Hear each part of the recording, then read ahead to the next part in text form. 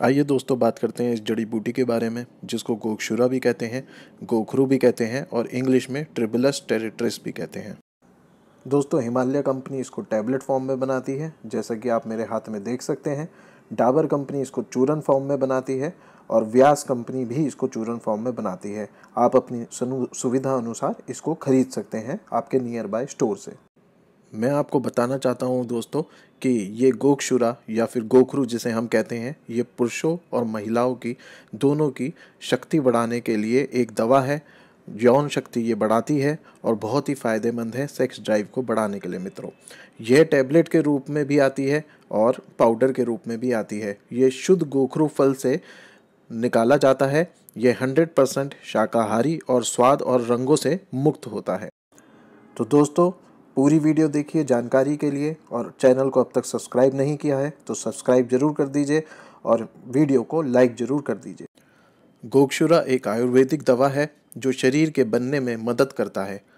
गोक्षुरा में मौजूद पोषक तत्व और खनिज शरीर को स्वाभाविक रूप से पन करने में और मांसपेशियों को निर्माण करने में सहायता करते हैं दोस्तों।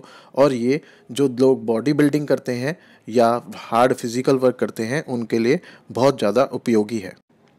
अगर यौन ड्राइव की बात करें, जिसे सेक्स की समस्या भी कहते हैं, या लो सेक्स ड्राइव चाहे वो पुरुषों में हो या महिलाओं में हो, इसके रेगुलर सेवन से सुबह शाम इसको खाने से दोस्तों, आपकी यौन संबंधित सारी समस्याएँ भी ये ख़त्म कर देती है मेडिसिन चाहे वो महिलाओं की हो या पुरुषों की हो, और सेक्स टाइमिंग भी ये बढ़ाती है।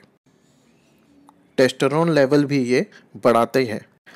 इस जड़ी बूटी का सेवन करने से पेनिस के टिश्यूओं को मज़बूत करने में मदद मिलती है जिसमें लिंग का तनाव भी बढ़ता है और इरेक्टाइल डिसफंक्शन जैसी बीमारियों से लड़ने में आ, मदद मिलती है दोस्तों।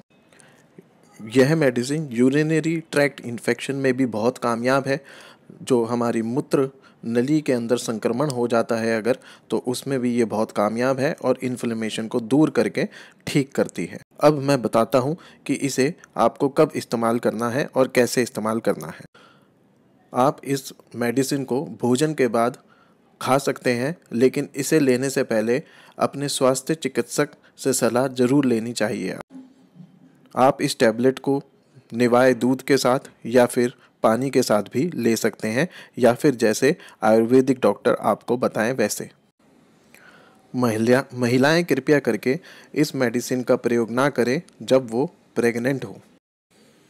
दोस्तों, कृपया करके चैनल को सब्सक्राइब करिए और वीडियो को लाइक करिए, क्योंकि आपके लिए मैं ऐसी वीडियोस लाता रहता हूँ जो आपकी सेहत के लिए बहुत अच्छी होती हैं। और दोस्तों, अगर खाली ये मेडिसिन खाने से भी आपकी बात ना बने, आपको मज़ा ना आए तो आप कृपया करके मेरी वो वाली वीडियो को ज़रूर देखिए, जिसके अंदर मैंने आपको अश्वगंधा गोक्षुरा कपिकच्चू और शिलाजीत खा के टेस्ट रिज़ल्ट्स आप लोगों से शेयर करें हैं और बताया है कि किस हिसाब की और कितनी पावर आपके अंदर आ जाती है उन चार कॉम्बिनेशन को यूज़ करके। धन्यवाद दोस्तों उम्मीद करता हूँ आपको वीडियो पसंद आई होगी।